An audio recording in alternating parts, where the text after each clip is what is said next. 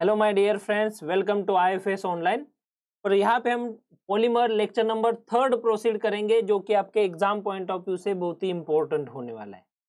तो classification on the basis of molecular forces ये हमारा क्या होगा? थर्ड लेक्चर होगा। फ़र्स्ट लेक्चर में हमने देखा था पॉलीमर मतलब क्या है? मोनोमर के यूनिट्स अगर कंबाइन होते हैं तो उसे हम पॉलीमर कहते हैं। उसके बाद हमने होमोपोलीमर मीन्स सिमिलर मोनोमर अगर यूज़ हो रहे तो होमोपोलीमर देखा था। उसके बाद कोपोलीमर मीन्स डिफरेंट टाइप्स के मोनोमर अगर कंबाइन हो रहे तो ये वहाँ पे कोपोलीमराइजेशन प्रोसेस देखी थी, जिसमें नाइलॉन सिक्स सिक्स का हमने स्टडी किया था।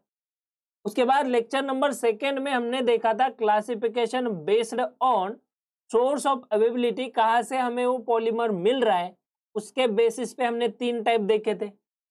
फ़र्स्ट टाइप उसका जो था, वो नेचुरली ऑकरिंग पॉलीमर नेचर में अगर प्रेजेंट है ह्यूमन बॉडी के अंदर है, या फिर एनिमल्स प्लांट्स में अगर पॉलीमर प्रेजेंट है तो वहाँ पे हमने नेचुरल पॉलीमर देखा था। सेकंड टाइप हमने जो डिस्कस किया था synthetic polymer source of availability में हमने देखा था सिंथेटिक पॉलीमर और सिंथेटिक पॉलीमर में हमने डेफिनेशन में ही लिखा था, अगर हम उसे सिंथेसाइज कर कर रहे इन लेबोरेटरी और अगर पॉलीमर मैन मेड है तो उसे हम क्या कहेंगे? Synthetic polymer. थर्ड टाइप देखा था सेमी सिंथेटिक पॉलीमर और सेमी सिंथेटिक पॉलीमर में हमने डिस्कस किया था कि अगर कोई पॉलीमर नेचुरली ऑकरिंग है और उस पर अगर हम कोई प्रोसेस करके, कोई केमिकल रिएक्शन करके, केमिकल चेंजेस करके उससे सिंथेटिक पॉलीमर बना रहे तो उसे हम कहेंगे सेमी सिंथेटिक पॉलीमर। मतलब नेचुरली ऑकरिंग पॉलीमर पे हम कोई प्रोसेस करके पॉलीमर का फॉर्मेशन कर रहे हैं तो उसे हम कहेंगे सेमी सिंथेटिक पॉलीमर क्लियर है? उसके बाद ये हो गया सोर्स ऑफ़ अवेबिलिटी के बेसिस पे। सेकंड टाइप हमने देखा था स्ट्रक्चर के बेसिस पे। स्ट्रक्चर के बेसिस पे क्लासिफाइड किया था तीन टाइप्स में।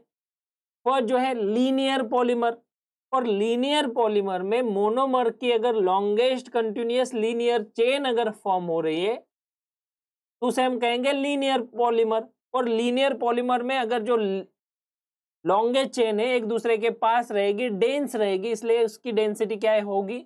हाई डेंसिटी होगी। सेकेंड जो टाइप्स देखा था हमने सेकेंड टाइप्स क्या था? जैसे कि आपको पता है स्ट्रक्चर के बेसिस पे linear similarly second type branched polymer अगर ब्रांचेस फॉर्म हो रहे मोनोमर के यूनिट्स की ब्रांचेस लीनियर चेन को अगर फॉर्म हो रही उसे हमने क्या कहा था?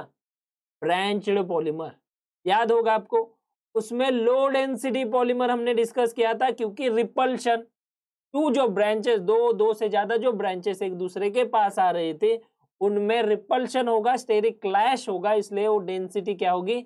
घटेगी फोर्स ऑफ़ अट्रैक्शन घटेगा, इसलिए हमने बोला था, वो क्या है लो डेंसिटी पॉलीमर का एग्ज़ाम्पल है ब्रांचड पॉलीमर थर्ड जो टाइप हमने डिस्कस किया था स्ट्रक्चर के बेसिस पे, वो थर्ड टाइप क्या था?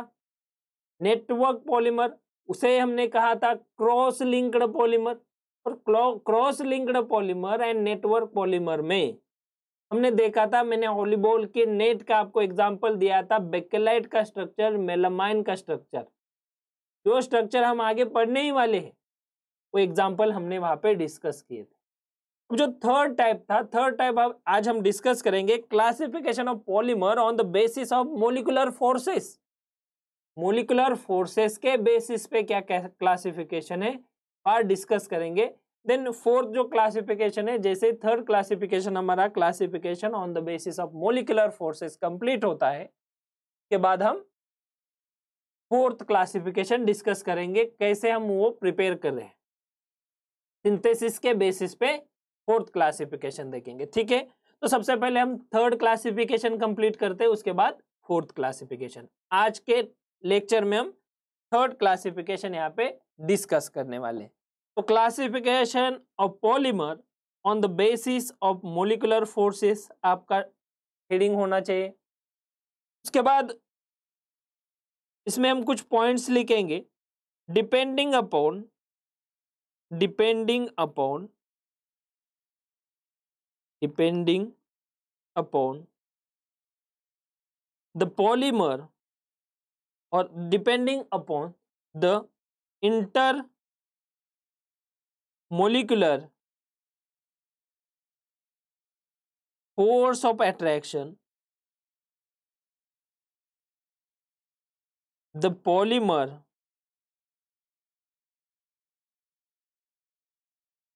the polymers have been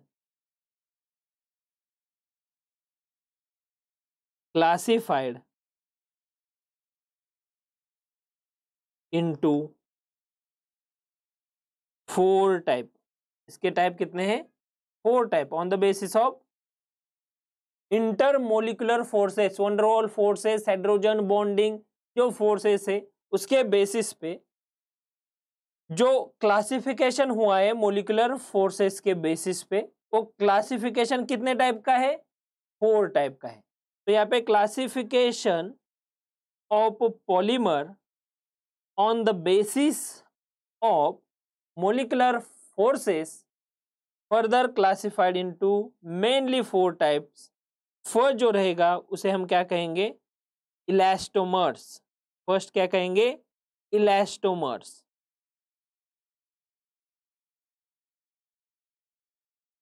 second जो टाइप रहेगा, उसे हम क्या कहेंगे? फाइबर्स इसकी भी डेफिनेशन आपको दी जाएगी, उसके एग्ज़ाम्पल भी आपको दिए जाएँगे। नाम में ही उसकी डेफिनेशन है, नाम में ही इसके एग्ज़ाम्पल है। क्योंकि पॉलीमर के कमर्शियल यूज़ जो है, वो मैक्सिमम है। हम डेली रूटीन यूज़ में लाइफ में पॉलीमर्स यूज़ करते हैं पॉली पॉलीमर के कपड़े यूज़ करते हैं पॉलीमर के रबर यूज़ करते हैं प्लास्टिक के बोटल्स प्लास्टिक की पाइप्स प्लास्टिक की या फिर हम बोल सकते हैं पॉलीथीन की बैग्स सब हम डेली यूज़ में पॉलीमर बहुत यूज़ करते हैं, इसीलिए ये चैप्टर पढ़ना बहुत इंपॉर्टेंट फाइबर्स सेकंड टाइप्स कौन सा है? फाइबर थर्ड टाइप होगा थर्मोप्लास्टिक ये बहुत ही इंपॉर्टेंट है थर्मो प्लास्टिक्स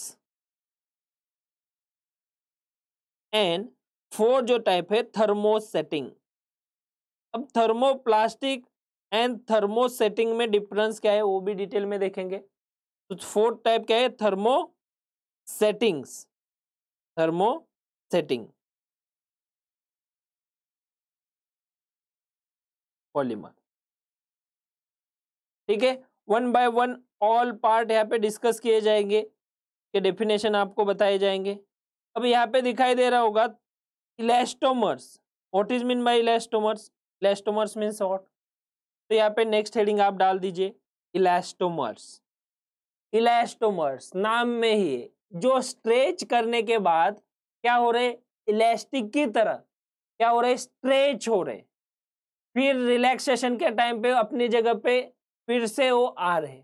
उसके बाद स्ट्रेस करने के बाद वो क्या हो रहे? वो स्ट्रेच हो रहे।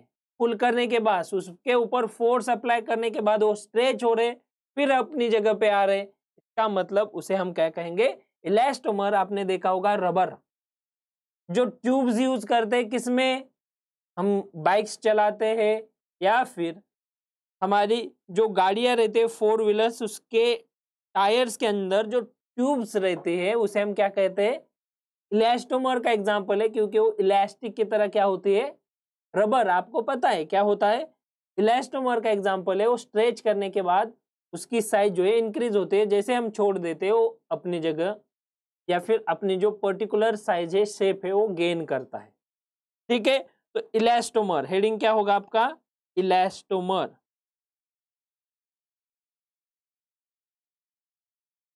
नाउ इलास्टोमर क्या है? वो यहाँ पे डिस्कस करेंगे। Elastomers means inter molecular force of attraction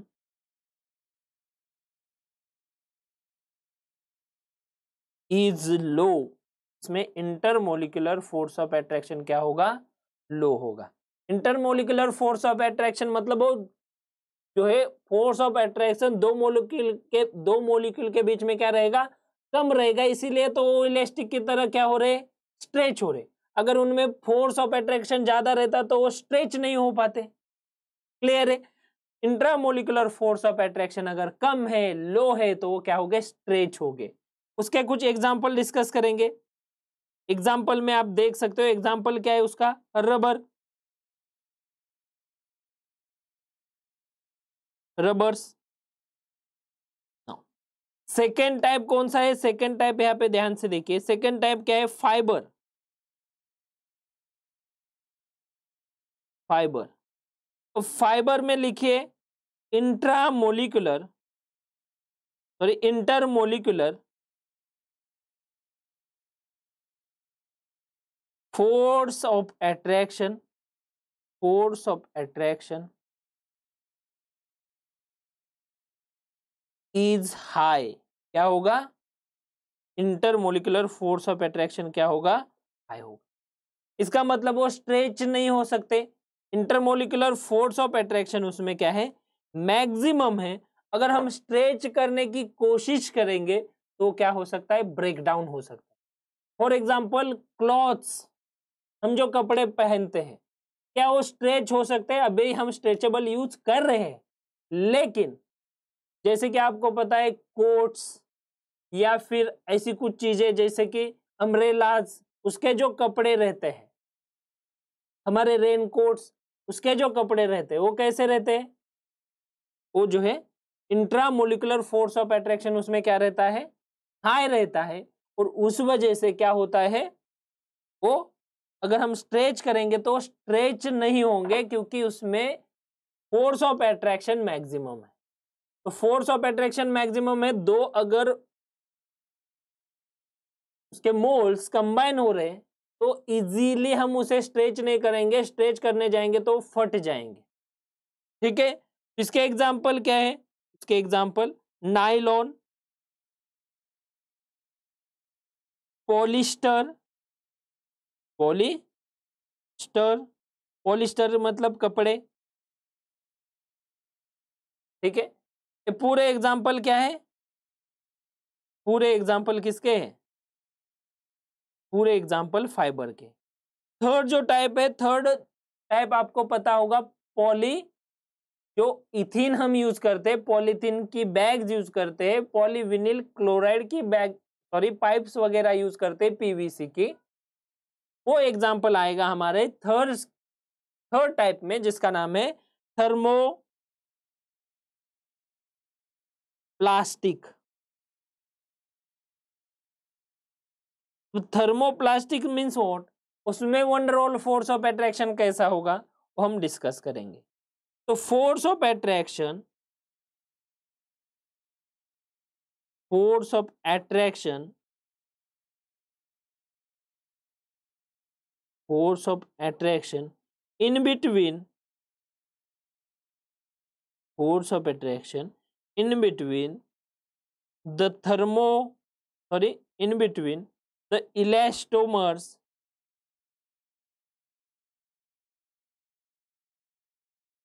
and fibre and fibres in between elastomer and fibre elastomers elastomers means what stretch होने वाले कंपाउंड फाइबर मीन्स वॉट जो स्ट्रेच नहीं हो सकते. अब इन बिटवीन जो इलास्टोमर है और जो फाइबर है, उनके बीच वाला जो फोर्स ऑफ़ अट्रैक्शन रहेगा, उसे हम कहेंगे थर्मोप्लास्टिक सिंपली हम बोल सकते हैं थर्मोप्लास्टिक में क्या होगा? आफ्टर हीटिंग अगर हम हीट देते उस थर्मोप्लास्टिक को हीट पे वो क्या होगा? सॉफ्ट बनेगा। हीट देंगे तो क्या होगे? सॉफ्ट हो गए ऐसे पॉलीमर जो हीटिंग पे क्या हो गए सॉफ्ट हो गए एंड कोल्ड कंडीशन और लो टेम्परेचर पे लो टेम्परेचर पे वो क्या हो गए हार्ड हो गए अगर मुझे बताओ हाई टेम्परेचर पे टेम्परेचर अगर हमने प्रोवाइड किया तो अगर मेल्ट होके वो सॉफ्ट बन रहे तो सॉफ्ट बनने के बाद हम उसे कूल करेंगे तो हार्ड बनेंगे। और जब सॉफ्ट बन रहे तो उसे हम मोल्ड कर सकते हैं, अलग शेप में उसका कन्वर्ट कर सकते हैं। इंपॉर्टेंट चीज़ें थर्मोप्लास्टिक एंड थर्मोसेटिंग के बीच में। आफ्टर हीटिंग हमें सॉफ्ट जो है थर्मोप्लास्टिक मिलेगा, उसके बाद उसे हम मोल्ड कर सकते एक शेप का कन्वर्जन दूसरे शेप में कर सकते क्लियर है? तो ये क्या हो सकता है? मोल्ड हो सकते हैं या फिर मोल कर सकते हैं। ऐसे पॉलीमर जिसे हम मोल्ड कर सकते हैं। उसे क्या कहेंगे? थर्मोप्लास्टिक। या फिर वो क्या हो सकते हैं? रिसाइकल हो सकते हैं। रीयूज हो सकते हैं।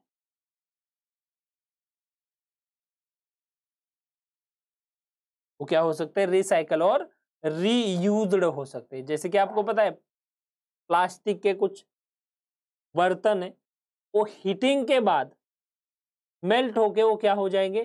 सॉफ्ट बनेंगे।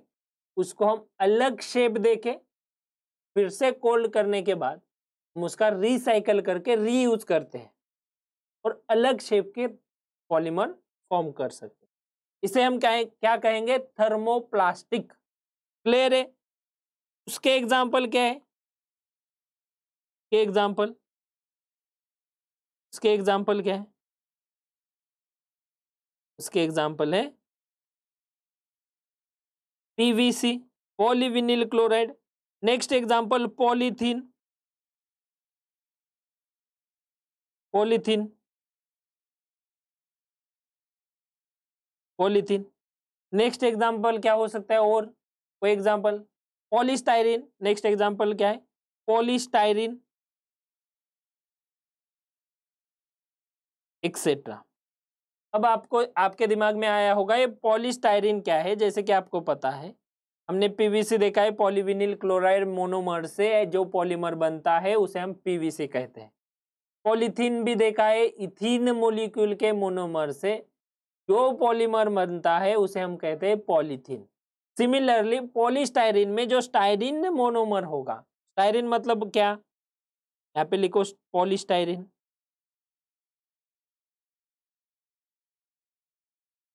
पॉलीस्टाइरिन। और पॉलीस्टाइरिन मोनोमर अगर हम यूज़ करते हैं, कैसे होगा पॉलीस्टाइरिन का स्ट्रक्चर वो भी देखेंगे। यहाँ पे क्या है? बेंजीन रिंग जहाँ पे C H double bond C H two connected है। स्ट्रक्चर जो है, स्टाइरिन का स्ट्रक्चर है, इसका अगर पॉलीमराइजेशन प्रोसेस हम करते हैं आफ्टर पॉलीमराइजेशन प्रोसेस यहाँ पे फॉर्मेशन ऑफ़ पॉलीस्टाइरिन यहाँ पे C H C H two ऐसे। एन नंबर ऑफ़ पॉलीस्टाइरिन के मोनोमर्स कंबाइन होके जो हमें पॉलीमर मिल रहा है, उसका नाम क्या है? पॉलीस्टाइरिन तो इसमें ये मोनोमर क्या यूज़ हो रहा है? स्टाइरिन स्टाइरिन बेंजीन रिंग के नेक्स्ट पे कार्बन है, double bond C H two ठीक है क्या है? पॉली स्टाइरिन का एग्ज़ाम्पल है, जिसमें मोनोमर क्या यूज़ होगा? स्टाइरिन क्लियर है? तो ये एग्ज़ाम्पल क्या थे? An example of thermoplastic. अब थर्मोप्लास्टिक के बाद लास्टली हम डिस्कस करेंगे थर्मोसेटिंग्स। और जो टाइप है on the basis of molecular forces यहाँ पे हम डिस्कस करें on the basis of molecular forces जो फोर्थ टाइप है, वो क्या होगा? फोर्थ टाइप थर्मो सेटिंग्स ठीक है? थर्मो सेटिंग्स अब थर्मोप्लास्टिक एंड थर्मो सेटिंग्स के बीच में क्या डिफरेंस है? आपको पता चलेगा। तो थर्मो सेटिंग्स नेक्स्ट हेडिंग क्या है? थर्मो सेटिंग थर्मोसेटिंग पॉलीमर में और थर्मोप्लास्टिक में सिंपल सा डिफरेंस है। थर्मोप्लास्टिक में हमने देखा कि वो हीटिंग के बाद सॉफ्ट बन रहे, उसके बाद हम उसे रीयूज कर सकते, रिसाइकल कर सकते, मोल्ड कर सकते। But in case of thermosetting हम रीयूज नहीं कर सकते। एक बार उसको ब्रेक डाउन किया तो उसको रिसाइकल हम नहीं कर सकते। टाइप के अगर कोई पॉलीमर्स है तो उसे हम कहेंगे थर्मोसेटिंग पॉलीमर्स। ठीक है, उसे क्या कहेंगे? Thermosetting polymer. तो इसमें हम लिख सकते हैं, it is a not reused उसे हम रीयूज कर नहीं सकते। नेक्स्ट लिख सकते हैं इसमें strong force of attraction force of attraction यहाँ पे क्या है? स्ट्रॉन्ग है। F O M means force of attraction force of attraction इसमें क्या है? स्ट्रॉन्ग है। और इसमें हम बोल सकते हैं it is a network like structure it is a network structure और नेटवर्क स्ट्रक्चर होने की वजह से हमने अगर उसे ब्रेक डाउन किया तो इजीली उसे हम रीयूज नहीं कर सकते या फिर रिसाइकल नहीं कर सकते नेक्स्ट क्या है? It is a three D structure क्या है? थ्री डी स्ट्रक्चर है।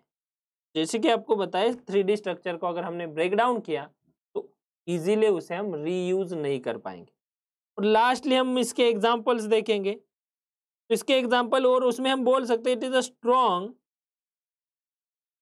covalent bond उसमें क्या होगा? स्ट्रॉन्ग कोवेलेंट अब वाले एग्जांपल में van der Waals force of attraction वाला पार्ट रहेगा बट यहाँ पे स्ट्रॉन्ग कोवेलेंट बॉन्ड रहेगा।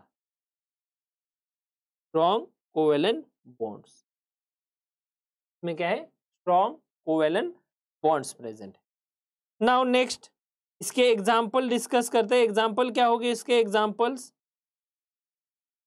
एग्ज़ाम्पल नेटवर्क थ्री के एग्ज़ाम्पल डिस्कस किए हमने। थ्री और नेटवर्क क्रॉस लिंक्ड पॉलीमर उसमें हमने देखा था बेकेलाइट क्या था एग्ज़ाम्पल बेकेलाइट सेकेंड एग्ज़ाम्पल हमने देखा था मेलामाइन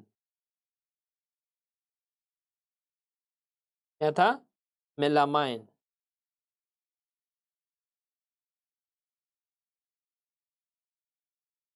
मेलामाइन ठीक है? तो ये क्या थे? Classification based on forces classification based on forces molecular forces और उसमें हमने देखा कि इलास्टोमर जो स्ट्रेच हो सकते हैं, उसमें क्या होगा?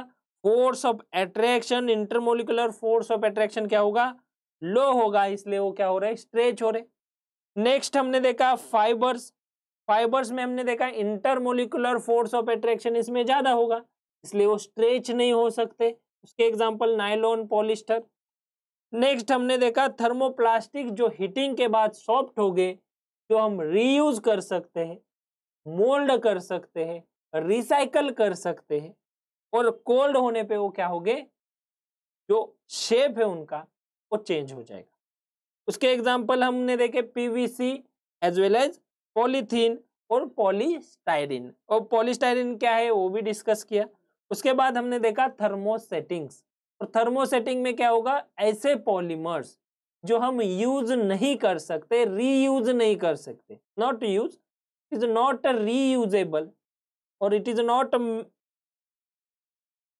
रिसाइकल तो उसे हम क्या कहेंगे थर्मोसेटिंग्स और थर्मोसेटिंग्स में हमने देखा स्ट्रॉन्ग फोर्स ऑफ़ अट्रैक्शन रहेगा। जो स्ट्रॉन्ग फोर्स ऑफ़ अट्रैक्शन है, वो कैसे कोवेलेंट बॉन्ड की वजह से है। और उसका जो स्ट्रक्चर है थ्री स्ट्रक्चर है नेटवर्क स्ट्रक्चर है। तो एक बार अगर थ्री स्ट्रक्चर नेटवर्क स्ट्रक्चर हमने ब्रेक डाउन किया तो फिर से हम उसे फॉर्म नहीं कर सकते। इसीलिए क्या है? नॉट रीयूजेबल और नॉट रिसाइकलेबल ठीक है? उसके बाद हमने देखे उसके एग्ज़ाम्पल बेकलाइट एंड मेलामाइन ठीक है? ये क्या है इसके? एग्जाम्पल्स है। क्लियर है? नाउ नेक्स्ट अब जो नेक्स्ट हम डिस्कस करने जा रहे हैं classification based on fourth type last जो टाइप है क्लासिफिकेशन का classification of polymer on the basis of mode of synthesis कहा से हम वो सिंथेसाइज कर रहे हैं? ठीक है? मोड क्या है? सिंथेसिस का मोड क्या है? ठीक है? हेडिंग क्या होगा? Classification. Classification. Classification. Of polymer. Classification of polymer. On the basis. On the basis. Of. Mode of synthesis. Mode of synthesis. Classification on the basis of modes of synthesis. Classification of polymer on the basis of modes of synthesis modes of synthesis के basis पे भी हम classification यहाँ पे करने वाले ठीक है? मोड्स ऑफ़ सिंथेसिस ठीक है? मोड्स ऑफ़ सिंथेसिस में जो पार्ट है वो डिटेल में डिस्कस करेंगे और उसके बाद जो फर्दर वाला पार्ट है वो हम नेक्स्ट लेक्चर में डिस्कस करेंगे, ठीक है? तो ये इस लेक्चर में हम क्या करेंगे? Synthesis on the basis of modes of synthesis. Synthesis जो है उसके मोड के बेसिस पे क्लासिफिकेशन करेंगे और उसमें particularly on the basis of modes of synthesis two types के पॉलीमर्स हम डिस्कस करेंगे, जो कि बहुत ही इंपॉर्टेंट है। तो यहाँ पे हम हेडिंग डालते ऑन द बेसिस और on the basis on the basis of synthesis on the basis of synthesis the polymer the polymer the polymer may be may be classified may be classified may be classified as first additional polymer first addition polymer addition polymer. And second जो type है, second type का नाम क्या है? Condensation polymer. अब difference क्या है? Addition polymer, condensation polymer, क्या डिफरेंस है? वो भी डिटेल में देखेंगे। तो फ़र्स्ट क्या है? एडिशन पॉलीमर और सेकंड है कंडेंसेशन पॉलीमर। Condensation polymer. अब एडिशन पॉलीमर क्या है? जैसे इसके नाम में ही है। कोई पार्ट, कोई मोनोमर क्या हो रहे ऐड होते जा रहे क्या होते जा रहे ऐड। दोनों में भी ऐड हो गए but additional addition polymer and condensation polymer में मेजर डिफरेंस क्या है? वो भी यहाँ पे हम डिटेल में डिस्कस करेंगे। इसके एडिशन पॉलीमर के एग्जांपल यहाँ पे देखते हैं। तो एडिशन पॉलीमर में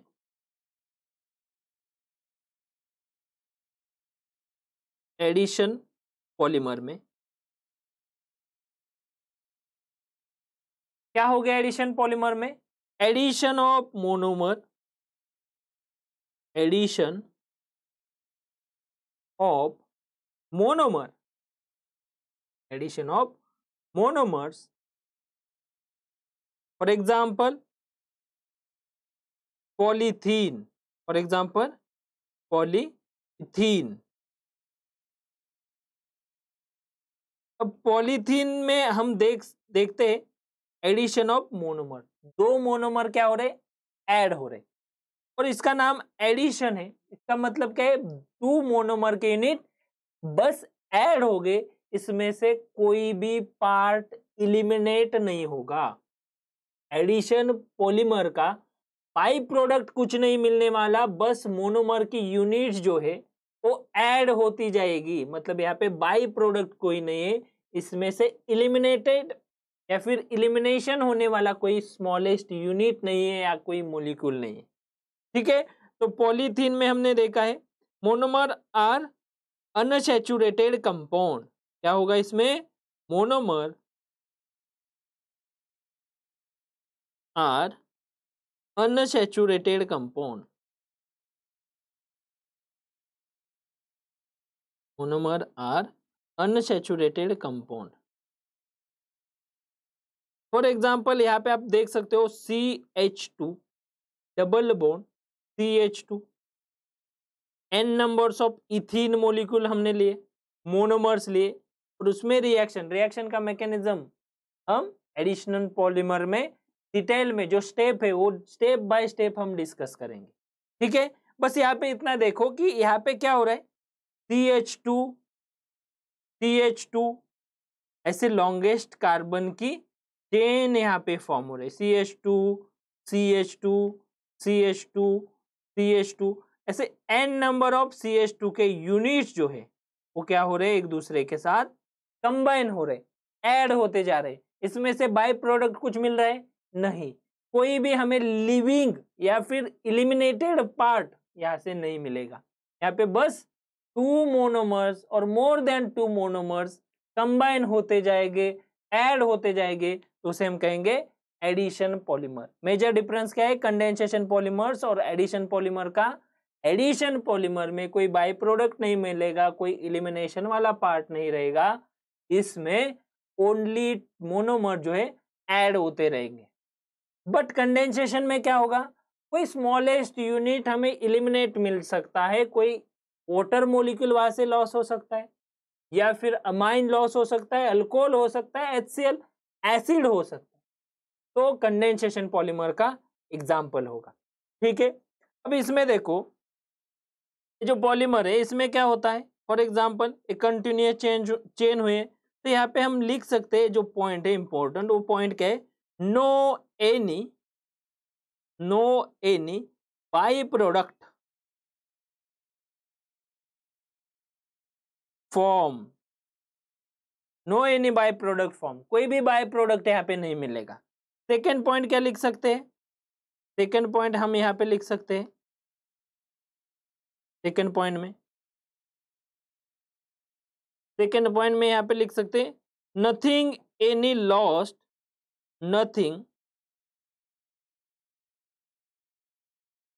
any lost during polymerisation process during polymerisation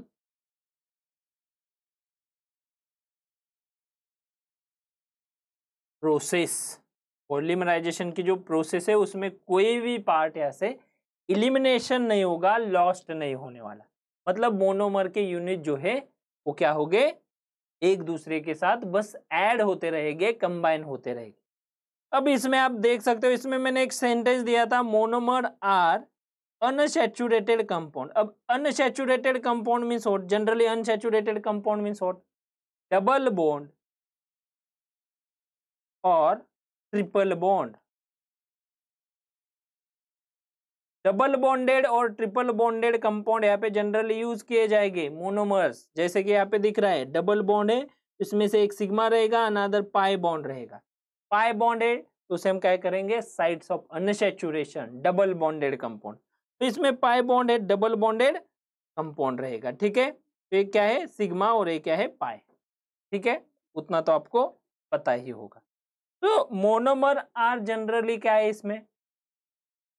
इसमें मोनोमर जो है, वो unsaturated compound unsaturated compound means double और ट्रिपल बॉन्डेड कंपाउंड अब मुझे बताओ ये जो पॉलीमर यहाँ पे फॉर्म हो रहा है, पॉलीथीन एग्ज़ाम्पल भी हमने डिस्कस किया तो इसमें से आपको कुछ बाई प्रोडक्ट मिल रहा है क्या?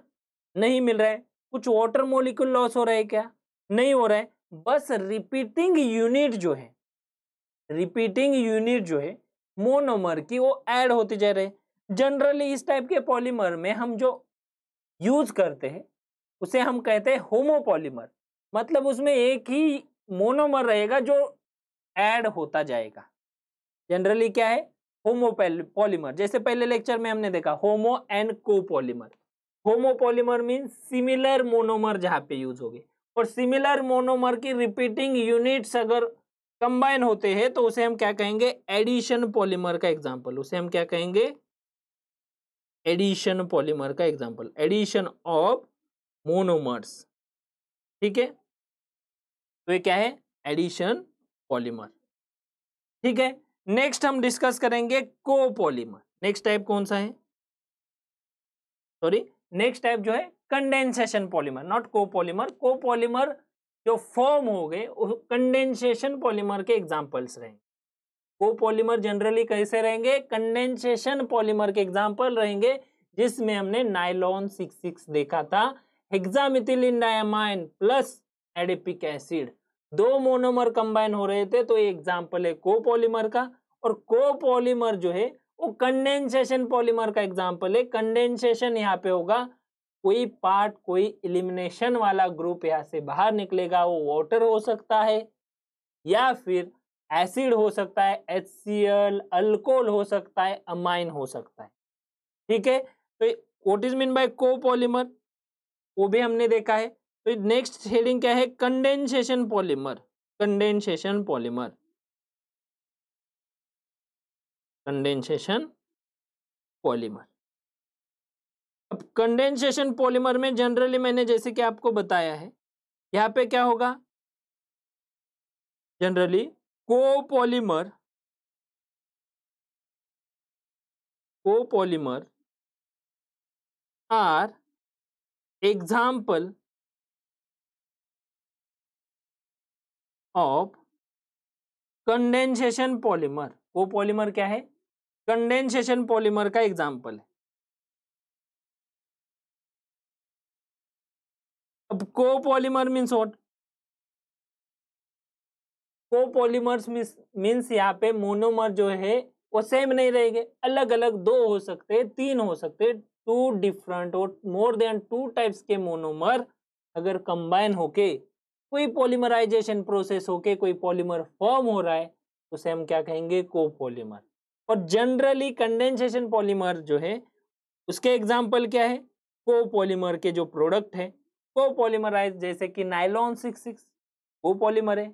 इज़ एन कंडेंसेशन पॉलीमर जिसमें आपने adipic acid plus hexamethylene diamine use किया था।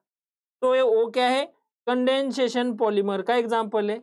उसे हम कोपॉलीमर का भी एग्ज़ाम्पल बोल सकते हैं। कोपॉलीमर मतलब more than two types of monomer now इसमें हम लिख सकते हैं by product by product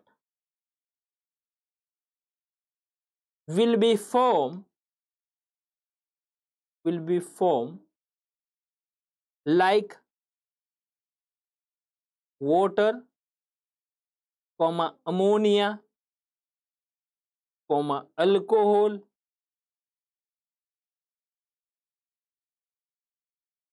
comma H C L. Etcetera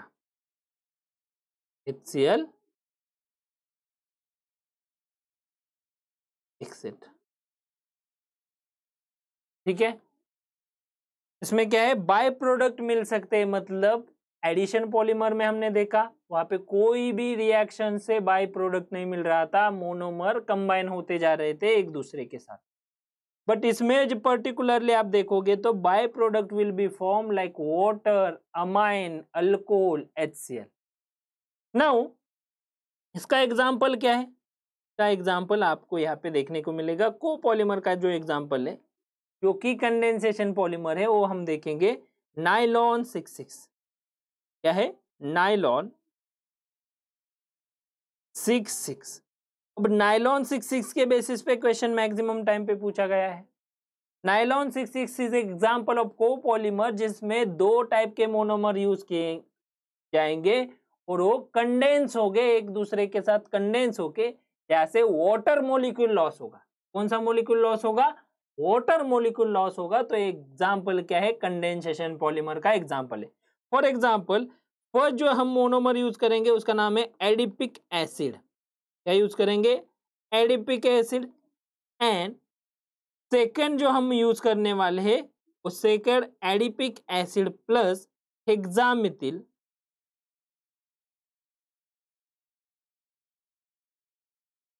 Diamine. क्या यूज़ करेंगे? Hexamethyl diamine. तो एडिपिक एसिड का स्ट्रक्चर क्या है? सी एच टू कितने टाइम्स है? फोर टाइम्स है। और यहाँ पे क्या है? C, double bond O O H, यहाँ पे भी एसिड है। और इस साइड में भी C, double bond O O H. ये क्या है? एडिपिक एसिड का स्ट्रक्चर है। प्लस, हेक्सामिथिल डायमाइन मीन्स यहाँ पे NH2 सी एच टू कितने टाइम्स है? Hexamethyl, six time N H two. ठीक है? अब देखो यहाँ पे मैं थोड़ा सा इसे क्या करता हूँ? एन टू को थोड़ा सा यहाँ पे मैं खोल के लिख रहा हूँ। यहाँ पे क्या है? नाइट्रोजन पे दो हाइड्रोजन और कंटिन्यूस कार्बन की चेन और यहाँ से क्या होगा? वाटर मोलिक्यूल लॉस होगा। यहाँ से क्या है? वाटर मोलिक्यूल यहाँ से क्या हो रहा है? लॉस हो रहा है। ये जो वाटर मोलिक्यूल यहाँ से लॉस होगा ठीक है? यहाँ से जो लॉस हो रहा है, वो क्या है? वाटर मोलिक्यूल यहाँ से लॉस क्या होगा? वाटर मोलिक्यूल कौन सा वाटर मोलिक्यूल यहाँ से O H and H O H plus H यहाँ से क्या हो रहा है? वाटर मोलिक्यूल लॉस हो रहा है। और जैसे यहाँ से वाटर मोलिक्यूल लॉस होगा तो आपको यहाँ पे दिखाई देगा कि जैसे मेरा यहाँ से वाटर मोलिक्यूल है, जो मैंने डार्क किया हुआ है हाईलाइट किया हुआ पार्ट है, वो क्या है? H H H sorry H H and O H two O loss of water molecule और जैसे ही यहाँ से वाटर मोलिक्यूल लॉस होगा मतलब यहाँ से माइनस क्या हो रहा है? H two O H two O क्या हो रहा है? माइनस हो रहा है एक क्या है? अमाइन ये फंक्शनल ग्रुप कौन सा है? अमाइन और ये क्या है? एसिड ये क्या है? Acid COOH means acid NH2 means amine और एसिड और अमाइन यहाँ से निकल के, यहाँ पे भी ये क्या होगा? वाटर का OH लॉस होगा। और इस डायरेक्शन से यहाँ पे अगर अनादर मोलिक्यूल बाइंड होता है तो यहाँ से भी क्या होगा? NH और यहाँ से एक H मतलब यहाँ से भी नेक्स्ट फर्दर एक H रिमूव होने वाला है। कितना पार्ट रिमूव होगा वो H? फर्दर कनेक्ट होगा another. Moles of hexamethyl diamine. और ये अमाइन वाला पार्ट जो है, फर्दर कनेक्ट होगा जो दूसरा मोलिकुल है आईडीपिक एसिड का उसके साथ। तो जो बच रहा है, वो हमें यहाँ पे लिखना है। C H two whole four times यहाँ पे सी डबल बॉन्ड ओ और ये कनेक्ट किसके साथ होगा? इस नाइट्रोजन के साथ। तो एक एच है। Further connected with a CH2 six times further NH और यहाँ पे, और यहाँ पे हम क्या लिखते हैं? N लिखते हैं। ऐसे N नंबर की कंटिन्यूस लॉन्गेस्ट चेन फॉर्म होगी, उसे हम क्या कहेंगे? नाइलॉन सिक्स सिक्स क्या कहेंगे? नाइलॉन सिक्स सिक्स यहाँ पे नाइलॉन सिक्स सिक्स से हमें क्या मिलेगा? पॉलीमर मिलेगा। और इसमें फंक्शनल ग्रुप हम अगर देखेंगे तो क्या है? अमाइड क्या है? अमाइड तो यहाँ पे आपको दिखाई देगा acid plus amine acid plus amine formation of amide यहाँ पे जो फंक्शनल ग्रुप फॉर्म हो रहा है, वो क्या है? अमाइड कहा है अमाइड यहाँ पे C double bond O N R ये जो फंक्शनल ग्रुप है, इसे हम क्या कहेंगे? अमाइड कहेंगे जिसमें कार्बन और नाइट्रोजन के बीच में न्यू बॉन्ड फॉर्म हुआ ठीक है? क्या हुआ है? न्यू बॉन्ड, फॉर एग्ज़ाम्पल अगर आपके पास कोई एसिड है और दूसरा अमाइन है तो यहाँ पे क्या होगा? नाइट्रोजन की लोन पेर इस पे अटैक करेगी बॉन्ड, ओपन, क्लोज, और वाटर मोलिक्यूल यहाँ से लॉस होगा, एस्टो लॉस होके फॉर्मेशन ऑफ़ अमाइड, यहाँ पे क्या फॉर्म होगा? अमाइड फॉर्मेशन होगा। एक है acid plus amine formation of amide similarly acid plus alcohol formation of ester इतना तो आपको फंक्शनल ग्रुप इंटर कन्वर्जन में आपको पता होगा। और वो उस टॉपिक में हम डिटेल में पढ़ेंगे। यहाँ पे सिंपली इतना याद रखो अमाइड का फॉर्मेशन हुआ है। किसका फॉर्मेशन हुआ है? अमाइड का फॉर्मेशन क्लियर है? Acid plus amine formation of amide इसके बेसिस पे भी क्वेश्चन आता है which of the polymerisation process amide will be form amide कहाँ पे फॉर्म हो रहा है? Nylon six six preparation of nylon six six ऐसे एक एग्ज़ाम्पल हम यहाँ पे देख सकते हैं। सिमिलर यहाँ पे, जैसे यहाँ पे कंडेंसेशन का एग्ज़ाम्पल है। टेरिलीन कॉमा पैकेलाइट ये जो एग्ज़ाम्पल है, वो क्या है? कंडेंसेशन पॉलीमर के एग्ज़ाम्पल है। ठीक है, यहाँ पे हम टॉप करेंगे बट टॉप करने से पहले हमने जो डिस्कस किया, उसका क्विक रिवाइज करते हैं। जो डिस्कस किया है, उसका क्या करेंगे? क्विक रिवीजन करेंगे एंड देन हम नेक्स्ट लेक्चर में रिमेनिंग पार्ट जो एडिशनल पॉलीमर है एडिशन पॉलीमर के स्टेप जो है, वो स्टेप यहाँ पे हम नेक्स्ट लेक्चर में डिस्कस करेंगे। क्या है एडिशन पॉलीमराइजेशन क्या वो तीन स्टेप है? Initiation means what propagation means what chain termination means what कैसे हम चेन को टर्मिनेट कर सकते हैं? कैसे पॉलीमराइजेशन प्रोसेस हम स्टॉप कर सकते हैं? पूरा पार्ट हम नेक्स्ट लेक्चर में देखेंगे। कैसे पॉलीमराइजेशन की स्टेप स्टार्ट करेंगे? कैसे उसको इलांगेट करेंगे? एक्सटेंड करेंगे? प्रोपोगेट करेंगे? एंड फाइनली उसे कैसे स्टॉप करेंगे, वो हम कल लेक्चर कल के लेक्चर में डिस्कस करेंगे। उससे पहले क्विक रिवाइज करते हैं। तो आज के लेक्चर में हमने क्या डिस्कस किया है? आज के लेक्चर में हमने देखा classification of polymer on the basis of molecular forces molecular forces के बेसिस पे यहाँ पे फोर टाइप के क्लासिफिकेशन है।